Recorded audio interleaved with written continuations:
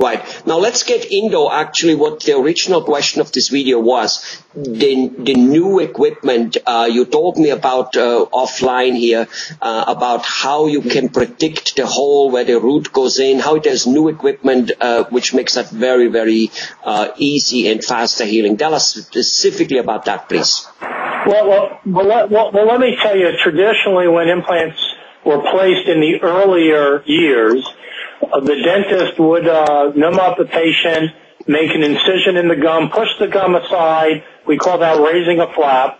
They would find a position where they want to put the implant and put it in the jawbone. Now, in the very earlier years, a lot of times the people doing the surgery weren't thinking about what are we going to do when we restore this tooth.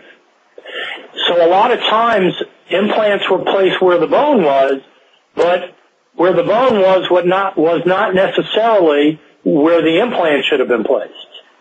So there were systems that came out with bendable heads and this and that. And what what we evolved to is pre-planning where we want to place the implant so that it would not only fit the bone but also fit the mouth where we wanted the final tooth restoration to be. And nowadays, there's something called the cone beam technology. It's essentially a hospital grade uh, X-ray where we can now take an X-ray of somebody's jaw and evaluate it in three dimensions.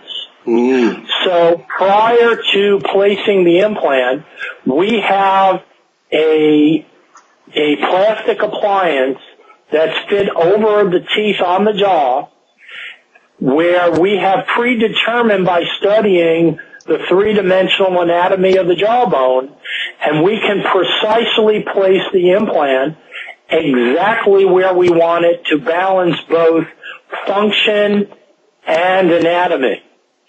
So that when we go to do the surgery, we're not cutting the gum and flapping the tissue back. We're actually doing it arthroscopically almost. We're essentially drilling through a small hole in that plastic appliance, which pre we which is at the predetermined angles, and all we have to do is drill down the proper depth. The beauty of this is the surgery's faster. We don't have soft tissue manipulation. And by the second day, the patient is literally on no pain medication because the jawbone itself has very limited nerve supply. Most of the past discomfort from implant surgery was from post-op inflammation of the soft tissue. And since we're not flapping it, we're not manipulating it anymore, patients are amazed at how comfortable the procedure is and how quickly they heal. Wow.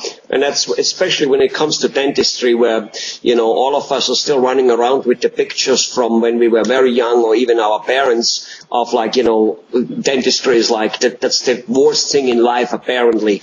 Um, and so it's really nice to know. So basically you're with this, you're drilling in perfectly. You know before you go, basically, and it's just that's where it will go. And I personally can think with that being a tool maker from profession, we always used to make little fixtures so that the drill or the whatever we cut it in, it could only go one way, and that was the predetermined way. So the, the person drilling had no influence anymore of that he could mess it up. You, you understand?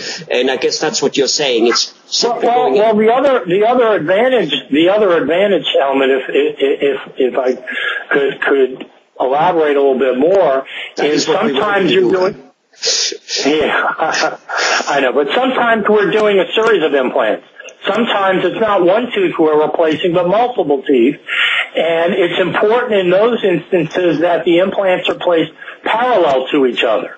If they're off kilter, it really creates a problem when you're making the final restoration.